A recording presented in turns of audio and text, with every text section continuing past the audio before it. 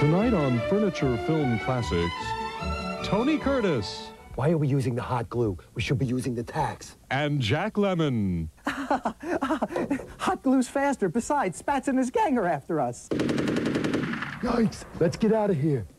In some like it hot, glued.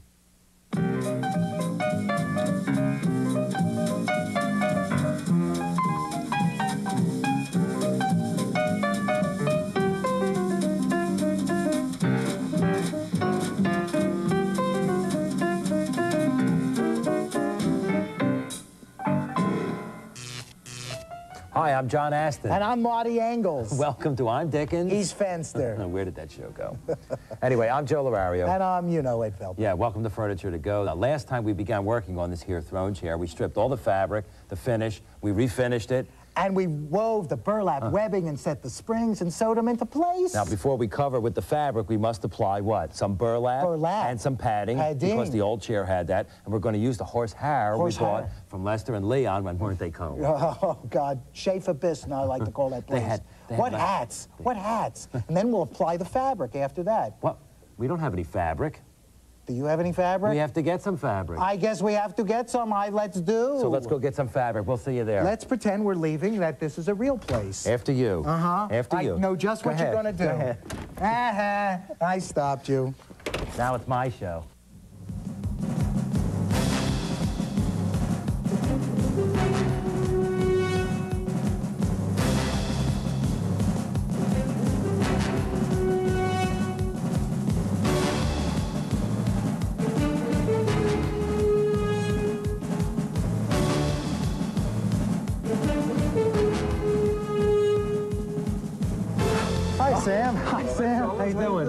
Doing? Nice to see you. see you. We need to get some fabric. Yeah, fabric. Special in mind? Well, you know, Something, well, we're doing the throne chair. so we need okay. something regal, you know, really kingly or Hey, queenly. you want to look around? Sure. Yeah, sure. Come over here, fellas. Let me show you this wreath pattern. A wreath, Aretha. a Franklin. Ah, this beautiful fabric gets railroaded on a sofa or a love seat, so there are no seams. Hey, set the other way. Run, runs Yes, vertically. runs vertically. Exactly. Ah, and it's nice. It's a nice color, but well, it's a, I don't think it's going to fit the wood of the chair, though. Right, Still right. not quite there. No. Not quite. What else have you got? Okay, how about this beautiful heavy tapestry? Oh. You can even do a beautiful chaise lounge with this fabric. Well, you know, it's a big, bold print, and we've got kind of small patterns on our chair, so we need some smaller, smaller patterns. Smaller patterns, and I like a blue color of some sort. Yeah. I'll tell you what, go see Lou out in the main area, and he'll show you some other fabrics. Okay. Okay, Okay. thanks,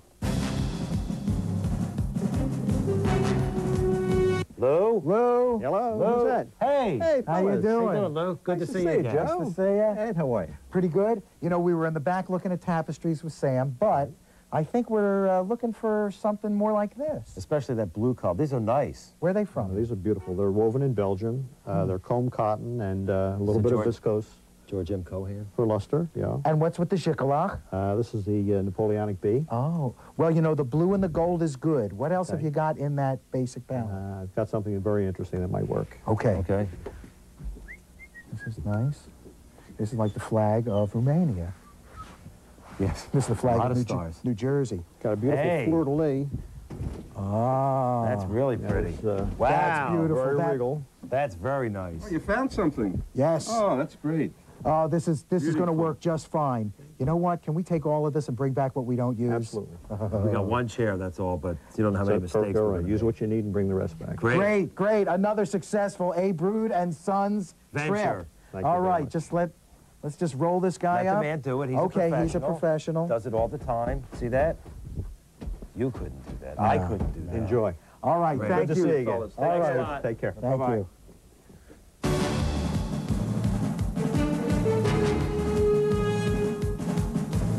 Uh, another and thing, you another know, thing. We need one other thing. And do you have a back door? Right this way. Oh, we got the right place. This is it. Mighty nice place you Nothing got has changed. Here, Look at this beautiful fabric. Oh, Irish gnomes have been Look here. how nice it looks with the chair. But we'll put this aside now because we have to cover up the springs with the burlap, which the little gnomes have done already. Yes, and now we're going to start to tack in this muslin. See, look, it's all in there. I mean, it's not muslin, Can it's see it? burlap, Can they it? see in there? Look. Yes, remember we tied those, and now we have a big hunk of burlap. And we're going to fold it over. Milton O. Burlap. Milton O. Burlap. Look, when, we, when you do a corner like this, you always fold that in. Why? So the burlap looks pretty? Just leave that in. That's got a big the- nail there. That's holding the chair together. So the burlap looks pretty? No. You want a nice, even edge, and you want to practice because you're going to have to do this with the real fabric, too.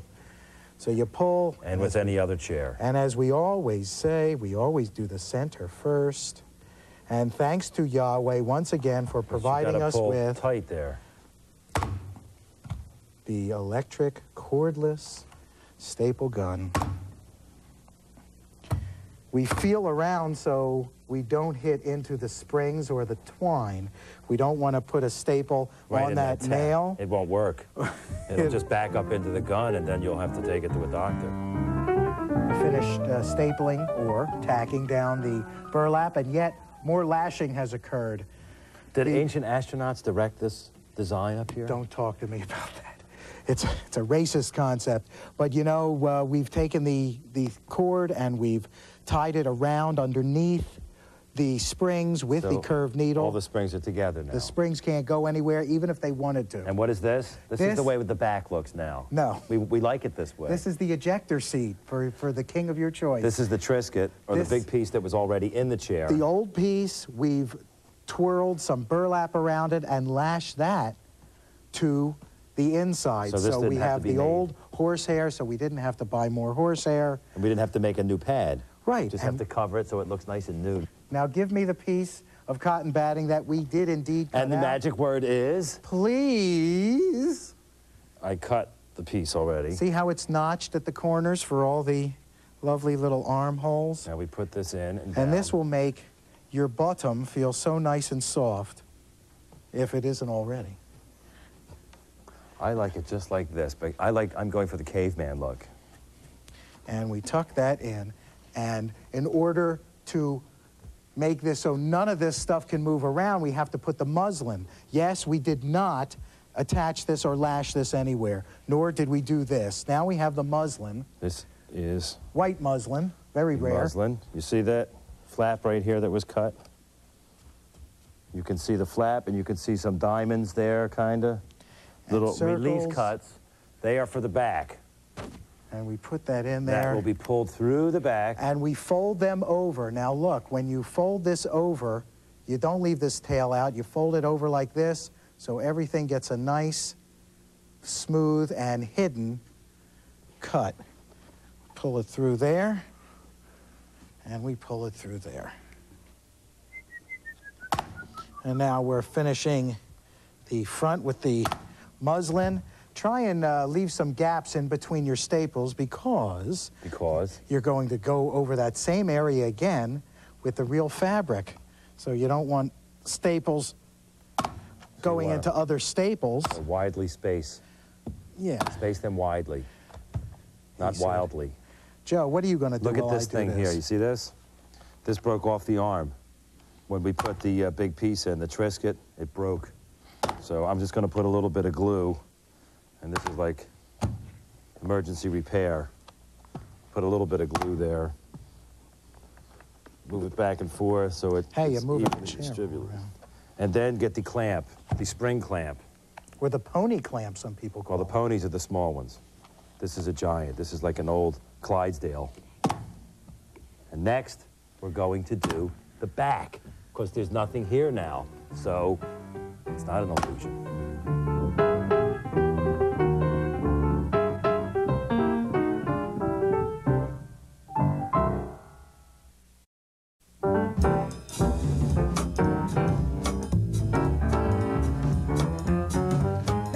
Do the back, right, Chief? Which is the back right here. This is a hunk of burlap that's going to hold everything in place. Over top of that, we'll just put fabric. Now, down here, we're using the old sandwich. Yes, because we are original frugal. chair. The Frugal Upholsterers is the new name of the show. It's a kick. I think. It's a real kick.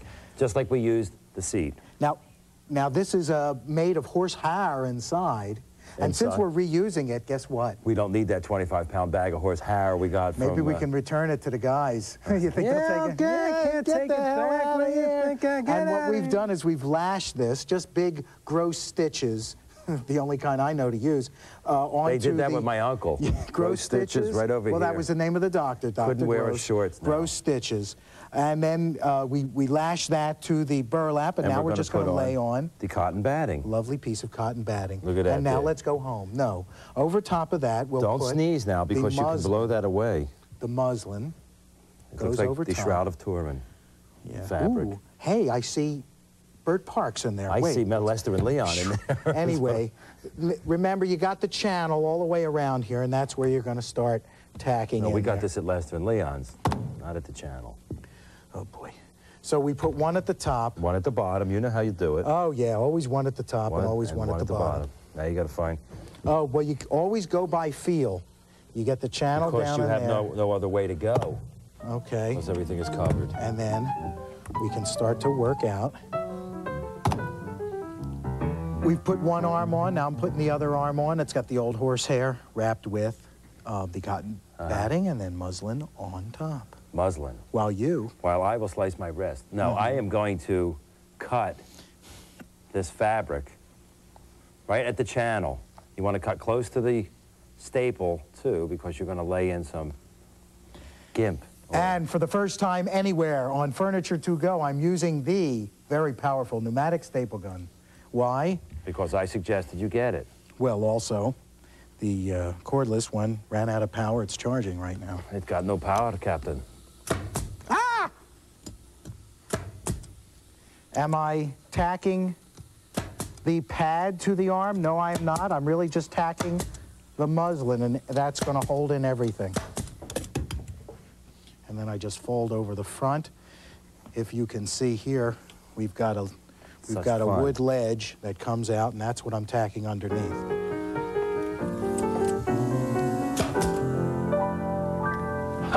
Oh, welcome to the Globe Theater. Or, gentlemen, start your compressors. I don't care. Look at this, from that big Look. piece, and you got a little tiny piece now. And this is a lovely, as Fleur. we picked out, a fleur de lis, These are a royal blue.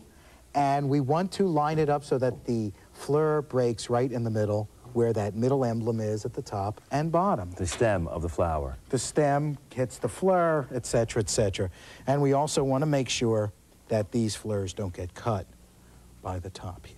Mm-hmm. Okay, shall we go? I'm going to step around there. Okay. I'm going to get the lovely compressor, one in the top. Mm, Cut the one in the bottom now. Always one in the bottom. Now the bottom one's going to go right through the fleur. What can you do? You can't do nothing. And how did we measure? How did you measure this? we laid it out You and we it cut out. it square with about got two, three inches on each Some side. excess on the Sure. front and the back and the sides. Sure, sure. That's all. And now, since this one is right where the diamonds break like this, we'll make sure that we line up the rest in the same manner. And you don't want to pull it too much to wrinkle the fleur either. No. Wrinkle the fleur. You'll wrinkle it, it'll have a wavy fleur instead of a straight fleur. Mm-hmm. I had a cousin that had a straight fleur, but it's okay because it was elective surgery, cleared that right up.